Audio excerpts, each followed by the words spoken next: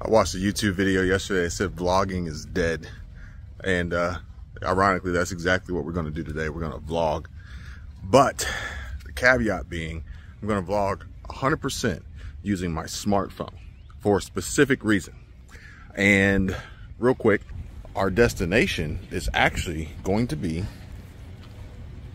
to visit a Chrysler Jeep dealership because apparently Jeep is one of the few car manufacturers that has ridiculously high and overpriced vehicles that they ultimately are having a very hard time selling. But maybe not so much the Jeep Wrangler, but Jeep in general. And we're going to talk about that. Speaking of expensive vehicles, check out this Ford Bronco Raptor with drive out tag from Louisiana. I bet you this thing costs at least $120,000. Now, some people would say that spending 120 grand on a Ford Bronco or any vehicle for that matter is dumb. It's stupid. Hey, to each their own. Such a beautiful day out today, which is the reason why we vlog. Is to get out and enjoy the world around us, the scenery, have a great time, bring you guys some new and hopefully exciting and engaging and entertaining content that you will enjoy. Now, I'd much rather be at the pool, but we have work to do. And uh, let's get started. All right, so today we are vlogging exclusively using our, my, I say our because I ordered two at the same time. I got myself and my wife new phones. We got Samsung Galaxy S23 Ultras and they have some cool features that uh, have improved the uh, video capabilities and photo capabilities of these phones, which makes them possibly the ideal solution for a super simple and easy YouTube vlog setup. Maybe even not just YouTube, maybe uh, other platforms. Although I don't think people are vlogging on TikTok but in the shorter form content, which TikTok has now upped the limit to, I think, 10 minutes per video, per video reel, you could potentially get away with that. And a lot of the short videos that you see on TikTok, Instagram, Facebook, YouTube, sometimes take hours, if not days, weeks, or months to create for the content they're trying to bring. But more importantly, is to see how capable this phone, this smartphone is because I'm going to shoot exclusively, entirely in 4K today. Uh, I'm going to shoot 4K 60 frames per second, which is the UHD setting. And uh, I do not have a gimbal or any other stabilizer besides the video stabilization that's built into this smartphone that I have enabled. And the reason being is that I think that the video stabilization features, technology, upgrades on this Samsung Galaxy S23 Ultra are amazing, but I wonder what their limitations are. And I think that it may come in the form of jittery, shaky movement, depending on how quickly I pan, which I will try not to do to reduce the likelihood of nauseating, sickness, and um, just making the video uh, almost uh, uh unwatchable. Additionally, the audio, right now we are recording audio through a DJI mic, uh, a wireless microphone that you can see here on my shirt. Maybe from time to time, it'll just be through the phone's microphone audio without any upgrades or attachments or accessories or changes to it. But for the most part, it should be the DJI wireless mic. Um, can this smartphone replace all my other tech? Can it replace my GoPro Hero 11 Black? I think it's an 11 Black, which has amazing video stabilization, but doesn't have the best battery, even with the endurance battery. And it tends to overheat pretty quickly with the 4K features turned on. Uh, and uh, the other thing is, is that it's just one extra thing I have to carry, I have to charge, and I can't upload directly from it, which is a perk from time to time. I'm fully capable of editing my videos. Uh, however, I prefer not to. Therefore, as much as I can make on my phone, for instance, my smartphone, this S23 Ultra, and then essentially create the movie in the phone and upload it directly, I could potentially do without my MacBook Air. I could do without Final Cut Pro. And uh, this could be a one-stop shop for a super simple, easy vlog setup, content creation solution. Single source. Uh, last but not least, what was it? The so we went over the video stabilization, we went over the audio, we went over the fact that we can upload it directly. I think that might be about it. I think that might be about it. Oh, in comparison to my Sony ZV-1. So I have a Sony ZV-1, which I absolutely love. But again, if we're gonna talk about poor battery life, then that one is probably the worst. And again, uh, unable to upload, as well as if I had a Sony ZV-E10, I believe I could put a different lens on it and get a much wider focal length, therefore uh, a much better vlog setup.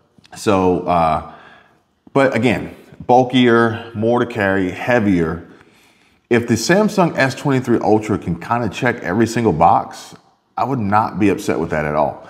Side note, I do have a Casetify case on order with the lanyard attachment, which I'm hoping can even further simplify this so I don't have to continuously fumble with taking the S23 Ultra out of my pocket.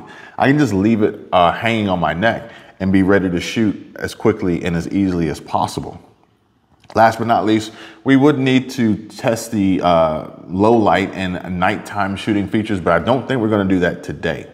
Um, but again, if this can be a one-stop simple solution to recording content, creating content and bringing it to you guys as quickly and easily as possible with also the highest quality, I would be very, very happy, very pleased, especially with the price point of this smartphone coming in at well over a thousand dollars for the 256 gig version, gigabyte storage. I was going to opt for the 512 or even a one terabyte but uh, when comparing my Samsung Galaxy S20 FE, I realized that internal storage and the additional uh, SD card that I had added to it, I was only using maxing out at like 180 gigs. So I felt 256 was good. And with this phone, it's a clean start and uh, I had nothing on it. So I have full 256 gigabyte of storage and I try to clean it and dump it pretty much every day.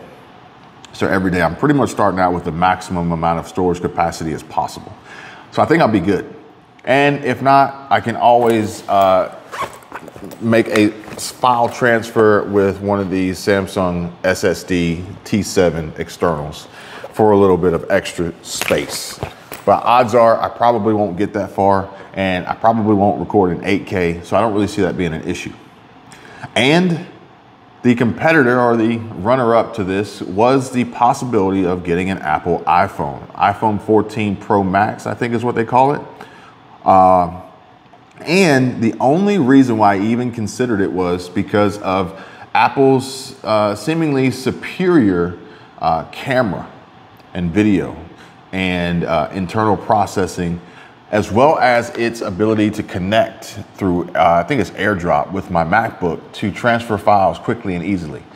Transferring files with a, an Android device, a Samsung SSD T7, and a MacBook, it's a workaround, but you can tell that they don't really like doing it.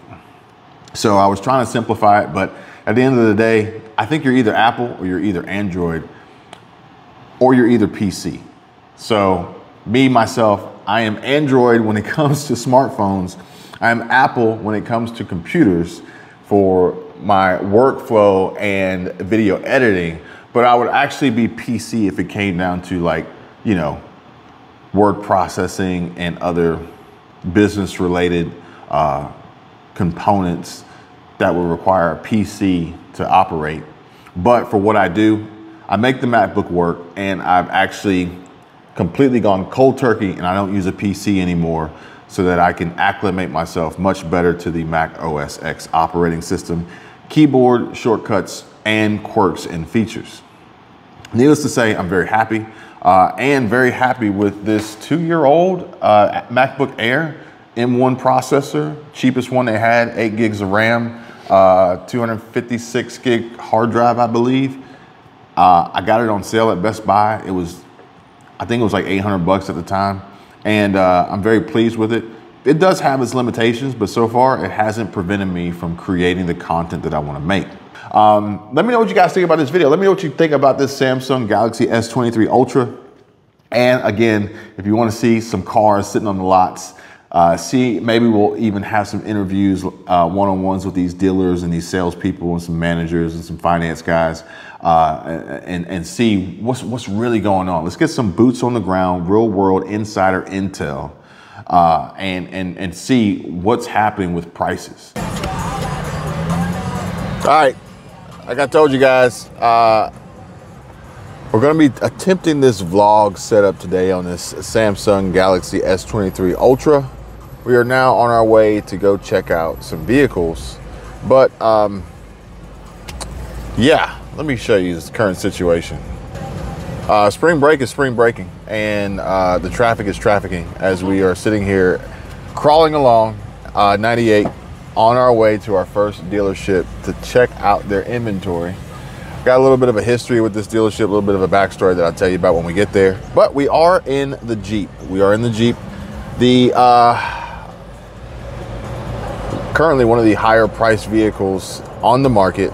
Granted, we bought this Jeep a little uh, under a year ago. Under a year ago. Under a year ago. We got it in. We probably got it in.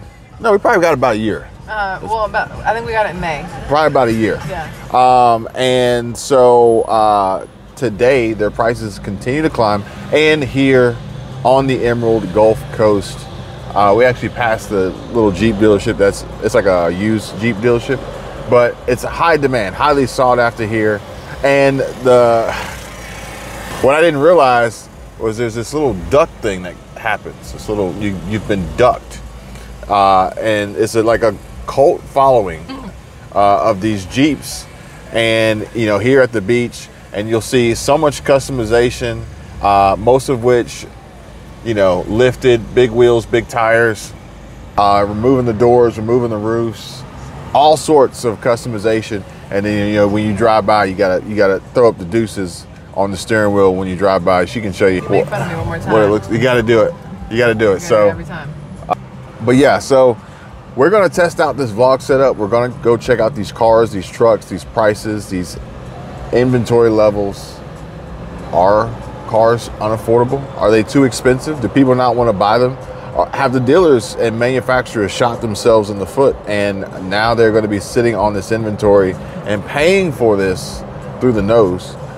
Shot themselves in the gas pedal. Shot the themselves in the gas pedal. Yes. Yes. Good on Michelle. yeah. Um, we'll see. We'll see. I, I think it's going to be, look, it's going to be this one here. I don't know if you guys can see but it's an M6. Now, granted, it's not a brand new M6. It's a pre-owned M6, but it has a, a drive-out tag on it. So people are buying vehicles. People are paying the money. Question is, how much did they pay? Or better yet, how much did they overpay? Look at this. Wow. So apparently, there doesn't seem to be any issue with the uh, money flowing and the whole yacht game and the boat game going on because here at Crab Island, you can see these jokers got the money and they are spending it I can only imagine how much that one costs. But look, it's a full house today on a Friday, April 7th, oh, 2023. And unfortunately, we've got an accident here on the bridge. Looks really bad. And uh, that's going to be fun. Ram the whole back into that thing. Trying to get around that, coming back to come back. Uh, off of Okaloosa Island. You can see these folks here. They're standing outside the car. They got out of the car and they're just kind of sitting because nobody's going past. He's looking up there like, what's going on? Uh, this is this is that this is a downside to bridges. You know the bridge situation. There is an alternative to go around, but you know some of these people aren't going to be able to turn around at this point and then the amount of time it would take you to turn around and go all the way through Fort Walton and come back around through Niceville and then pay the toll, it's almost like you might as well just sit here and wait. So we're gonna check Waze. We're gonna have to check Waze on our way back to see if this is still a problem. You can see this guy here. He's trying to turn around. We'll see if, if this is still a problem. Because if it is, we'll just have to drive through Fort Walton and come through Niceville. Uh, but that, you know, unfortunately, uh, there's an R8. He just moved into our neighborhood. Um, uh, unfortunately, part of the problem is that bridge is dangerous because, especially a day like today, Full House, Crab Island, uh, Destin Harbor, Choctawhatchee Bay, it's just packed. Here's the worst part. There's the ambulance or fire somebody. Oh, it's a fire somebody. It's not the ambulance. Trying to get through the stop two lanes of traffic. But yeah, so the bridge is it throws you off because you'll get these tourists. Like I wasn't recording at the time, but there was a little Acura RSX in front of us that about pulled into the side of this uh, Volkswagen. Volkswagen. Tur- uh, uh, Touareg or I can't remember the other big Volkswagen SUV. But uh, so there's the end of the traffic. That's how far it goes. But um, the problem is on the bridge, especially with the tourists, when they see so much activity on the water, they want to look. They want to look around, and you can see that that guy he just like completely hammered that Joker. Uh, that truck had a trailer on it, right? The one that ran into, yeah, they were hauling. Yeah. They were hauling pallets. They're hauling pallets. So if he has to behind s- him. stop quickly, uh, that's going to be even harder to do if somebody is rubbernecking in front of him looking at the water. The speed limit on that bridge is like 30 or 35 for a reason. Most people don't realize that. And uh, odds are that that trailer, the brakes on that trailer probably got so hot they didn't even stop. And uh, you see where we're at. We got state patrol sitting here, ready to make that money. But uh, we're gonna make our way to these car dealerships and report back in just a moment. And we can see here, got a C8 drive out tag. C8, is that the convertible? I think that's the convertible. Uh, he's got his headset on. I think he might be like a air traffic controller or something.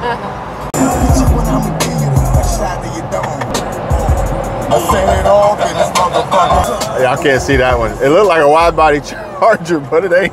it just had one fender flare on the front. All right, let's go check out this. We got an LC 500, got a Challenger here. We got RCF, ILX maybe. I'm not really too familiar with the Acura brand anymore. Mustang GT. We'll take a walk around here, see what they got, see what they got new, used. I'll tell you a little bit of backstory about this dealership. Now, so Gary Smith, so we got Tim Smith and Gary Smith. I wonder if they're brothers. I'll do a quick pan of the Jeep.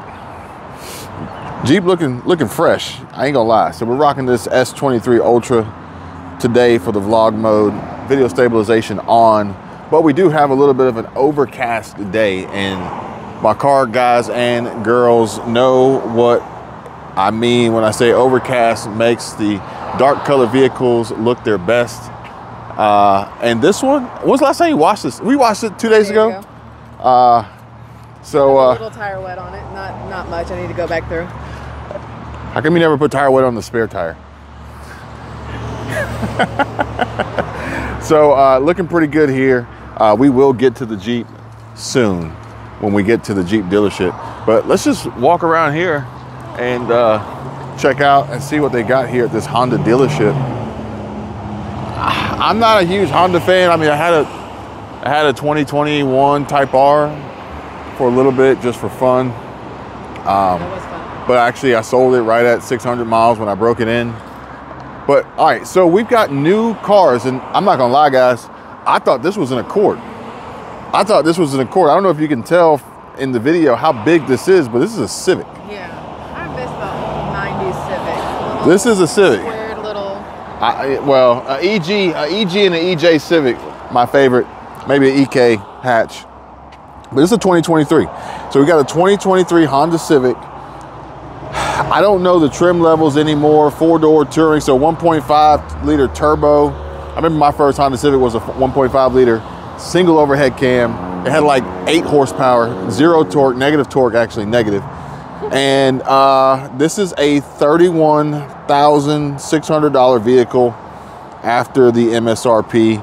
and the premium of the exterior color being uh, Morning Mist. Uh, it's a little dirty. Uh, it's all right. I don't know if I pay a premium for this color though.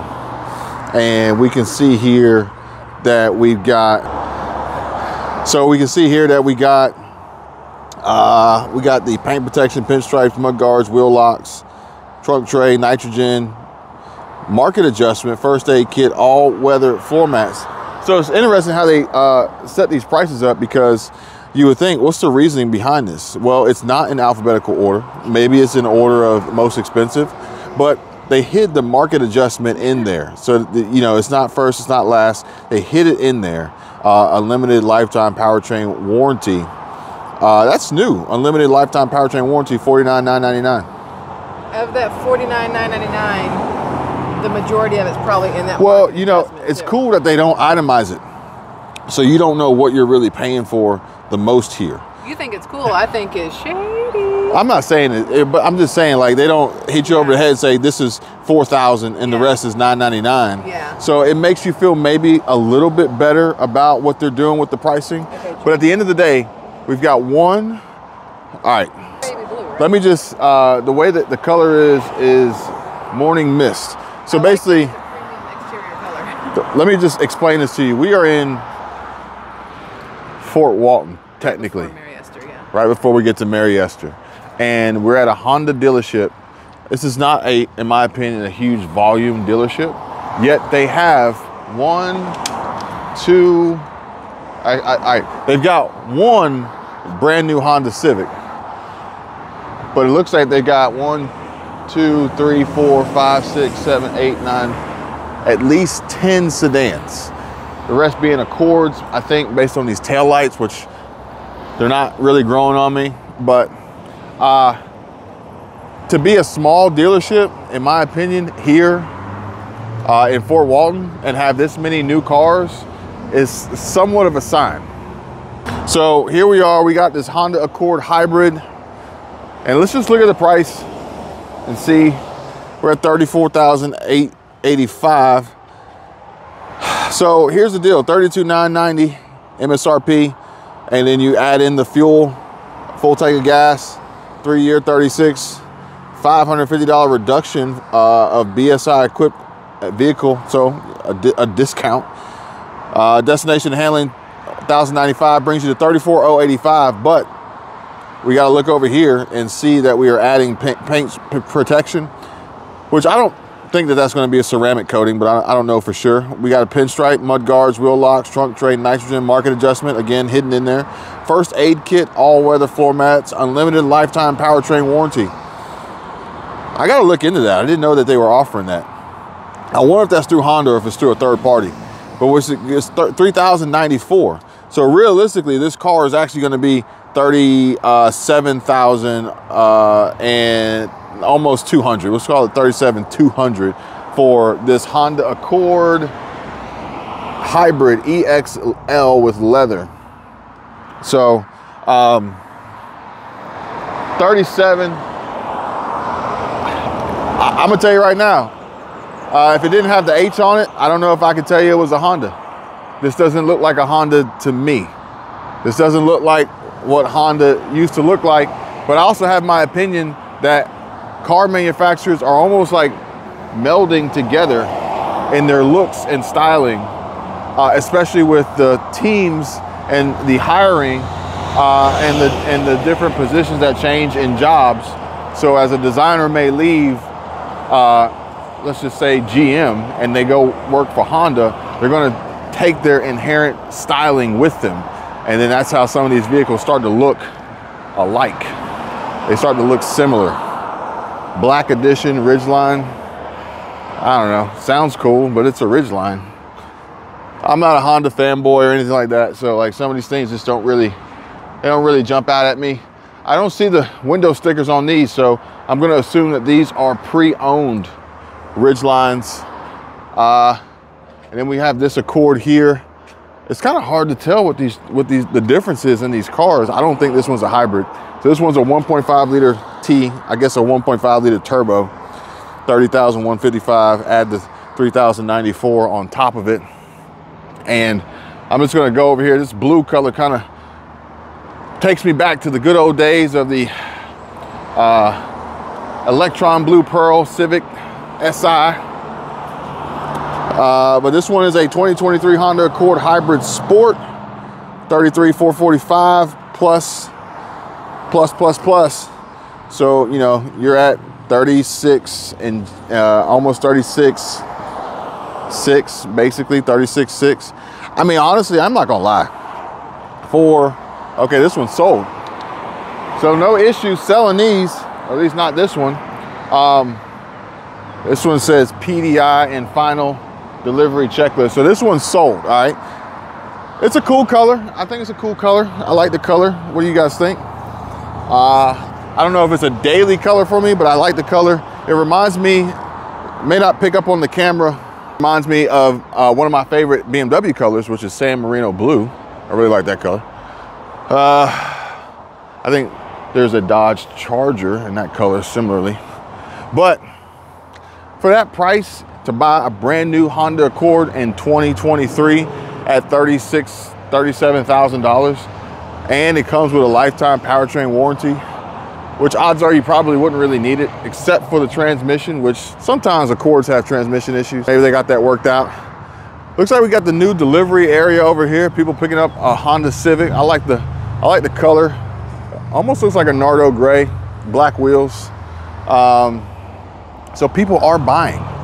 People are buying. Maybe Honda is just not uh, flying off the, the lots like other brands. You know, Honda's kind of boring. You know, Honda's kind of basic and simple. Uh, let's see what this one is. This is a 2023 CRV, 34,860.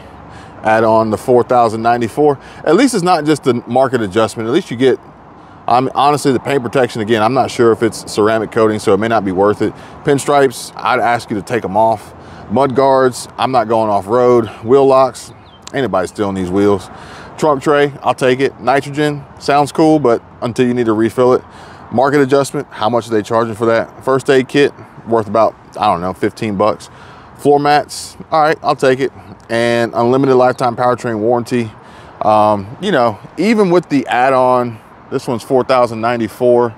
Uh, I guess the discrepancy here is just how much this warrant, this powertrain warranty and this market adjustment really is. But um, even still, to be able to buy a brand new vehicle uh, for under $40,000 and ultimately be one of the higher end models and essentially get all the bells and whistles, all the options and leather. I mean, maybe it's not so bad after all. Um, we got some used vehicles here. I'm just gonna take a look over here and see what it looks like with this Z71 Silverado. You guys comment down below, let me know how this is working out for you. I'm not running a gimbal or anything. This is just straight up video stabilization built in and this little tripod that you, this telescoping tripod. I don't know if you guys can kind of see that in the window, but it's just a little tripod and I can use it as a, as a, a stand or I can just hold it in my hand. And we got this 2022 Chevy Silverado 1500 RST with 16,000 miles on it. No price listed that I can see. So, you know, I'd have to go online and check and see what they're asking for it. But odds are um, the value is probably going to be, the value will probably be within the new new cars instead of the used cars. Uh, I think, I, you know, again, I'm not a Honda fanboy. I haven't been following them that closely.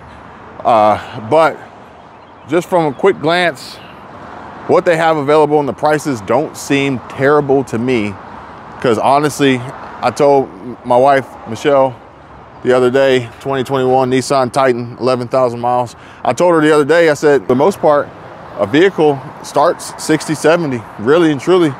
If you want something halfway decent, something good 60 70 and you know there's nothing wrong with these cars but i'm just saying like something cool something fun something desirable you know? I don't think people are like parking these accords and looking back at them when they walk away. You guys know when you got that cool car when you got that fun car that desirable car when you park it you got to look back at it. Like this F-150 right here, I would be willing to bet that whoever buys a F-150 Tremor, F-250 Tremor, doesn't matter, you're gonna look back at it. I think I, I think this falls into the cool category. Uh, I, I think it falls into the cool category.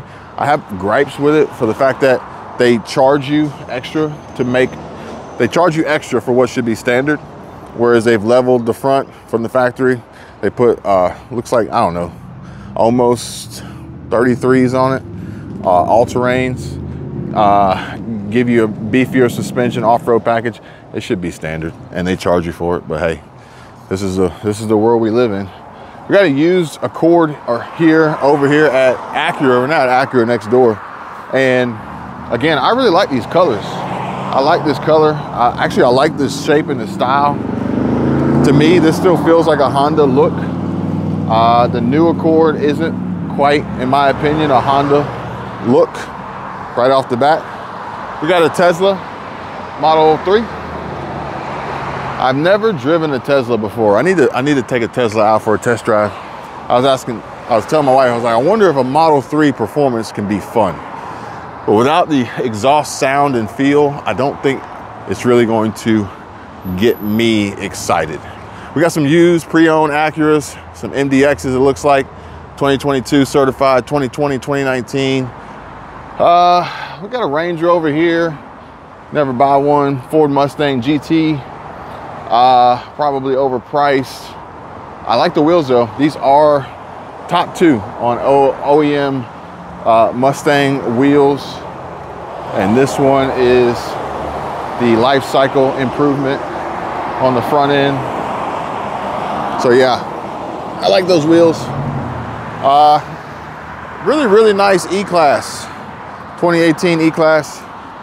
Uh, probably a 63, let me guess. Let's see here. Oh, 43. They always throw me off, these 43s and 63s. They make them look so good. Uh, beautiful Lexus LC500, which is a very popular car here uh, that I've noticed at the beach. Uh, I think it gives you comfort, luxury, power, convertible, prestige. I don't know about that 10 speed transmission though. I heard it's got like seven gears too many. Um, but it's all right. It's all right. I like the color. This one's got 57 miles on it. It's a 22 with 57 miles on it. That's that's intriguing to me. Either somebody made a mistake in making this, or they made a mistake in buying this, or this is one of those this is one of those deals that the dealerships they, they run and they get somebody to buy something, they get the allocation, and then the dealership buys it from them so that they can have it they'll pay them a little premium on top of it, but then the dealership has it, and then they'll pay, they'll charge even more, but also add in the flexibility of the dealership. So the dealership, in my opinion, has changed the game on car sales because people don't want to, they don't want to do the private sale like they used to, and deal with people, deal with Auto Trader, which sucks as a private seller. There's no way I would use Auto Trader anymore. It's terrible. Um, and the financing and trading component. Most people don't want to sell their vehicles, they want to trade them in, and most of them want to finance the next one, and then all the title work and paperwork and all that stuff. The dealerships have really taken over and taken control, much with the DMVs and the tag offices assisting with that by adding these new uh, title taxes in certain states. They've made it really advantageous for dealerships to do this, and uh, they've taken it away from the private sellers to have the availability and option to really uh, take advantage of being a private seller, which typically afforded buyers a better price, but also afforded sellers uh, a little bit more than what they would get on a trade-in. But we are here at Acura. Um, it looks like they have some new vehicles here. So let's walk over here. I don't know if these are MDXs or RDXs or what three letter acronym they have given them now. We've got a used 2019 Ford F-150 Raptor. Uh, Buick, Nissan, maybe Versa or Sentra. Looks like an ES Lexus. So, so this one says this is a Tim Smith guaranteed lifetime powertrain warranty, nationwide, unlimited miles, no max term. So I guess this is uh, through the, the Acura dealership, not through the manufacturer, which when you think about it, for a dealership to add on this unlimited warranty uh, powertrain, it's a, it's a gamble. They're going to charge you the upcharge on the on the window sticker, the non-itemized window sticker that shows the the add-on prices, and they're gonna they're gonna roll the dice on selling these quality vehicles that'll probably never have an issue with their powertrain, but you're paying for a powertrain, an unlimited lifetime powertrain warranty that they know you'll never use, or at the very least, one out of a hundred will use it and it's paid for itself a million times over with these dealerships. So I'm gonna I'm gonna guess these are new. I'm gonna guess these are new, and I forgot to check and see what they were. So hang on one second. Let me see what vehicle this is. This is an MDX, which ironically I saw a commercial the other day for MDX, and they said that you know it's like sport inspired I don't know about you guys, but when I think MDX, I do not think about sport and performance and speed and fun. I think about, I don't know, uh, a reliable uh, crossover sort of SUV uh, lifted station wagon, basically. But anyway, they got some new MDX. They got plenty of new MDXs. So either production's like really, really good or sales are really, really low and people are not super interested in MDXs. But this dealership actually came here months ago because they had a, uh, a GR Supra that I was interested in buying or checking out and potentially buying. And uh, their price was about $12,000 too high uh, for the market. And uh, they didn't want to budge at all. And uh, eventually they got rid of it because it's not here anymore. But I can say that uh, it sat on the lot for months and then saw price reductions. Uh, so I don't know if they necessarily make the greatest decisions here and choices on how to conduct business, how to negotiate with potential buyers. Uh, me personally, I would never let any anybody leave without catching their name and their phone number and, and their email. But they were just like, nah, that's the price. You don't know how the car market works. And we're, you know, it is what I said, dude, you're charging a premium for a car with higher mileage, multiple owners, and I could go down the street to step one and get the same Supra in a different color for 12 grand less with lower miles with one owner. And uh, he was like, nah, that's the way it is. And then, you know, we just left. That was it. I mean, shoot, it took us like 20 minutes to find somebody to even help us to get to that point. Um, long story short, I never got the Supra. I did go test drive the other one at step one, and I was I was pleasantly surprised by the Supra, which is basically a BMW Z4. The power, the comfort, the transmission, the ZF. I was a little bummed out about a ZF, and I was like, you know what, I really prefer to have a DCT, but uh, it was actually really good shift quick. Stock exhaust sounded really good. But at the end of the day, the lack of functionality, like it was impractical to the max. And I'm talking about, I used to have S2000s. I used to have uh, uh, 78 or 987 Cayman. I'm talking about very, very impractical vehicles. The Supra is quite possibly the most impractical. Like you can barely even fit your cell phone in there as far as the storage component goes there were some quirks with the radio and the sound quality and you know the steering wheel itself the steering wheel was very underwhelming it just wasn't anything like fun to look at for a fun car so ultimately i decided against it and uh, we're still venturing down the path of modifying and upgrading the porsche macan gts it's actually getting worked on right now uh, and when i get it back i'm going to do some upgrades to it do some power mods to it and uh, i'll keep you guys informed all right, so we took a quick drive uh, over next door. We're gonna check out Nissan. We're gonna check out Nissan. I didn't even realize that Nissan was right here.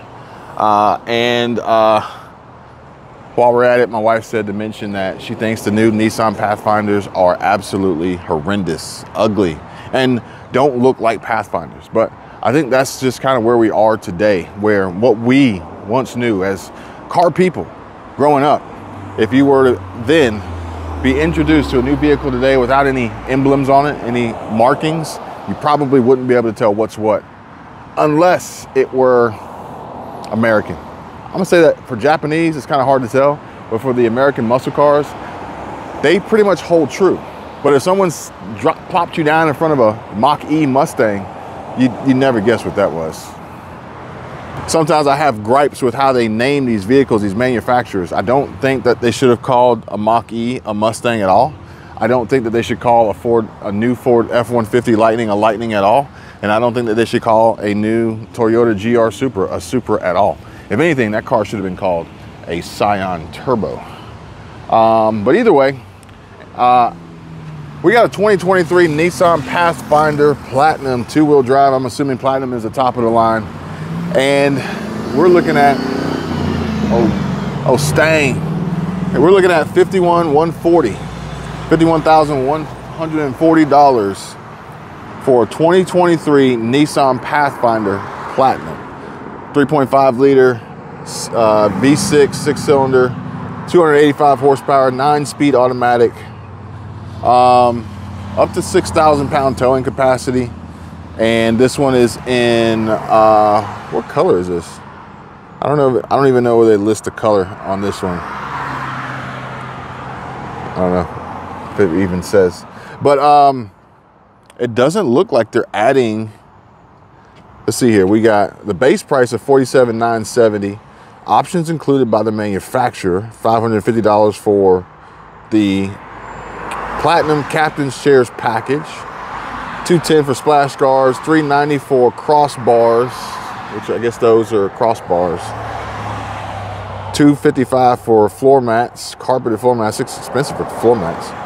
345 for the cargo package. It includes a cargo area protector, cargo net, cargo dividers, console net, first aid kit. 395 for premium paint. Okay, if you say so. And $270 credit seems for the tow package delete.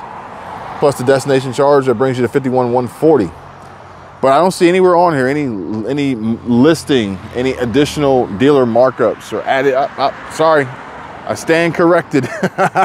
so 51 140 and then we come over here and we can see that they add the permaplate seven year exterior interior protection and the nitrogen tire fill bringing you up to 1220 add-on bringing you up to 52 360 so no mention of market adjustments or additional dealer markup of money going straight to the dealer and I'm not saying that this is what they're doing, but I'd almost be willing to bet that this little permaplate seven year never happened. And that's just $1,095 going in their pocket. What do you guys think? Waiting to see if anybody files a claim that they'll then deny. But yeah, so the Pathfinders, you know, we're at 46, 945 for SL two wheel drive. And then after the uh, permaplate and all that other nonsense, we're at 48, 165. Got a little bit of a stark difference over here. Now, granted, we are comparing these SUVs to Honda Accords. I did not see any prices on the Acura MDXs. Um, looks like we got a few Frontiers. We got some Nissan Frontiers. And this one, this is a Pathfinder 2, even though I thought it was a Rogue. It looked kind of small. Maybe it's just because it's black. 43,830 for this two-wheel drive Nissan Pathfinder. It looks like leather, but I think they look like, I think it might be vinyl uh, seats. They look kind of, see if you guys can see that, if y'all can see that, door's locked. They look like vinyl to me. I don't really know. Um, we got the Frontiers. I'm a guess, I don't know anything about these Frontiers, but I'm gonna guess a Frontier should be no more than $35,000.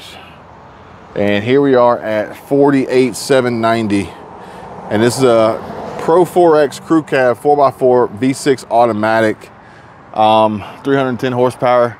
And then you add on the extras, it puts you at 50,000, 10 bucks. And uh, there's no way you catch me spending $50,000 on this Nissan Frontier. Uh, I don't care if it's a Pro 4X or not. Let's see if this one is any more of a base SV. Now we're at 40,750, uh, 41,970 with the add-ons. I, I, I think 35. I think 35. I think 35 is a number for a Frontier. Maybe if I were to find the base model, the most base they offer, we can get to that point, 39, 465. Uh, you can get the price by scanning the QR code, which I'm pretty sure they're using to retarget and track customers since there's no salespeople out here hounding me, which I appreciate. Well, maybe I spoke too soon. I see this guy coming over here. Uh, 40,485. So yeah, we're in the 40s, high 30s for a Nissan Frontier. A uh, little crazy, little asinine, if you ask me. So I'm not 100% sure if Nissan has any. Oh, there we go. We got some. We got some cars. We'll, we'll come back to these. We got these little Rogues. Okay, that's the Rogue. There's a Leaf. Let's just see real quick what a new Leaf costs. 38 175 for a 2023 Nissan Leaf. And we got some Titans over there. This Rogue looks different. So these must be the new Rogues. That must have been an older Rogue. Huh. I don't know what that one is. We'll have to look at that one. That might be a Sentra. So we got these uh, Maximas four-door sports car. Quite possibly, you know, yeah, the most equal Nissan in comparison to Honda and then Accord and we're at 46,680 for 2023 Platinum. 3.5 liter V6, 300 horsepower, 261 pound feet of torque. Probably very, very comfortable. Probably a really nice driving vehicle. We got what seems to be like some sort of diamond stitching on the leather, which is pretty cool. Up your game a little bit. 47,800 for that Platinum. And then we got an SR. I don't know, maybe the SR is more sporty. You know, uh, power's at the same level, but the price is 45, 440. Um, so considerably more expensive to get into a Maxima instead of a Honda Accord. Um, but again, maybe the Maxima is going to be faster, uh, maybe a little bit nicer, depending on who you ask. This is an Altima. I think the shape is pretty good. The wheels are all right. Running Bridgestones, 236 horsepower, 267 pound feet of torque. We're at 37,025. So they pretty much priced this at the price point of a Accord, and the Maxima uh, is priced above that. These must be Muranos, if I had to guess. And these Muranos are coming in at 2023 Murano SV front wheel drive, 40,815. And then you add the extras, you have 42,035.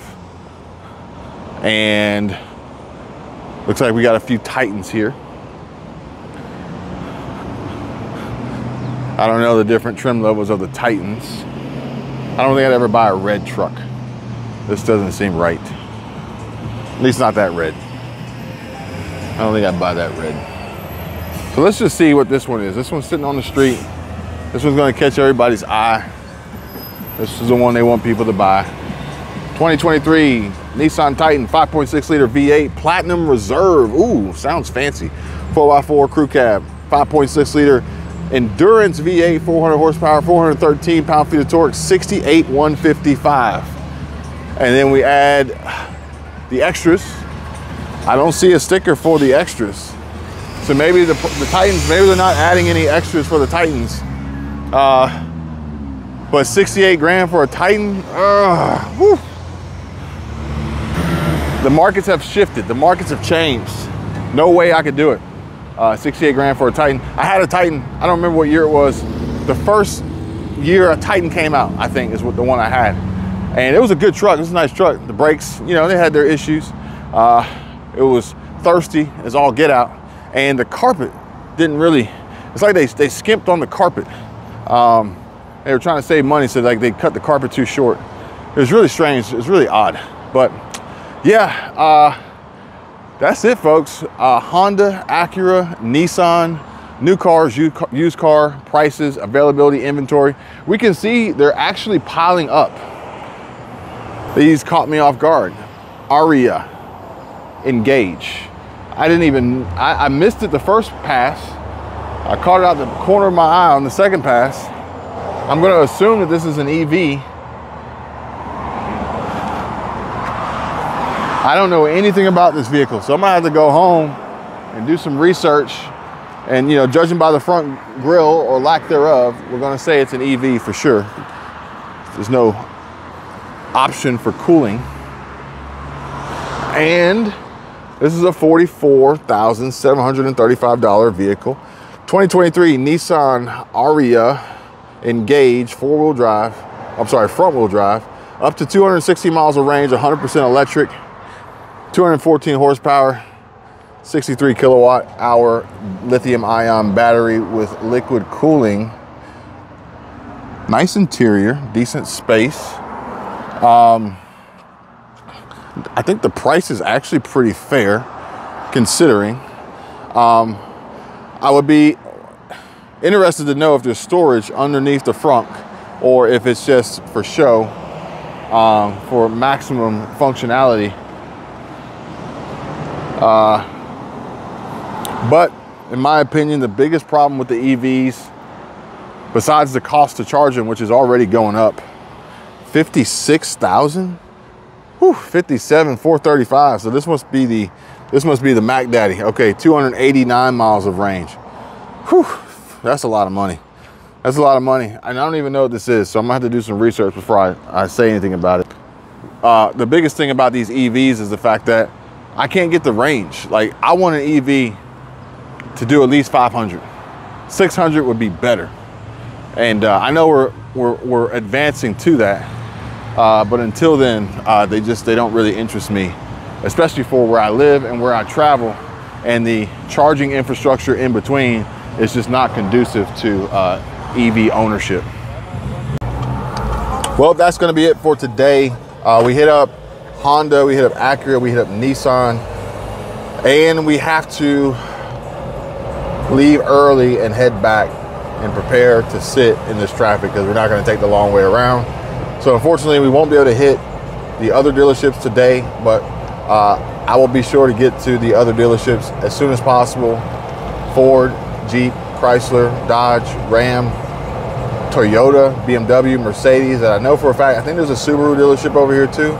And this is just in Fort Walton. We can also go ahead and check out uh, whatever dealerships exist in Niceville, but I don't know if there's any new car dealerships, any franchise dealerships in Niceville, but we can check out Pensacola, uh, we can also check out Panama City, Mobile, Alabama, uh, and so many others, especially this summer. Uh, and maybe that's what we'll do this summer. Maybe we'll just drive around the country checking out car dealerships. But I appreciate you guys watching. Please give the video a like, subscribe to the channel, and uh, I'll see you guys real soon. Bye.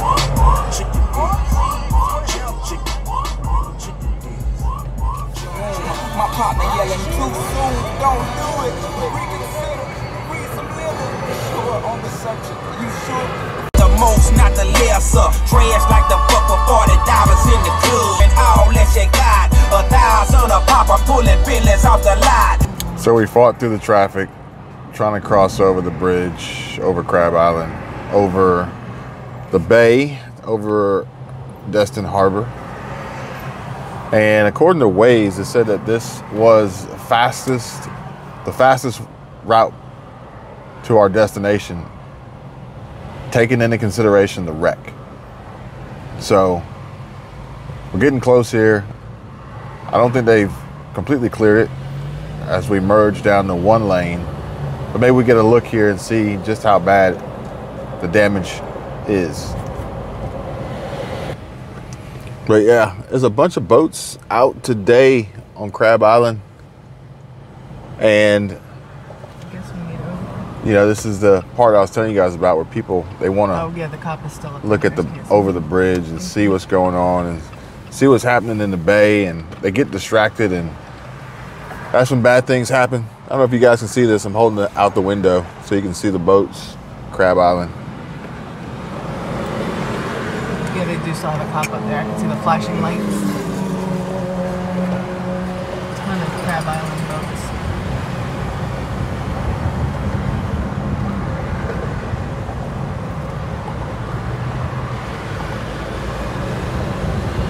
Got some cops on the water too. Got some flashing lights over there. They don't play. Let's see what we got here for this wreck. Some debris off to the side. Got a state trooper and the truck with the trailer and the pallets is still there. And that is it. So maybe that's what I thought. That's what I expected. Uh, this truck is still here, and that's what I expected because he's going to need a specific type of tow truck or two to get his truck out of here and or the trailer. The availability and how long it takes for that truck to reach here, coming from wherever it's coming, possibly Panama City Beach or even further. Um, I expected him to be left behind. And then hopefully that tow truck comes from the comes from the east and then it just cuts in here and, and ends up driving the wrong way to get to the bridge instead of trying to go the long way, make a U-turn and come back through traffic. But there you have it.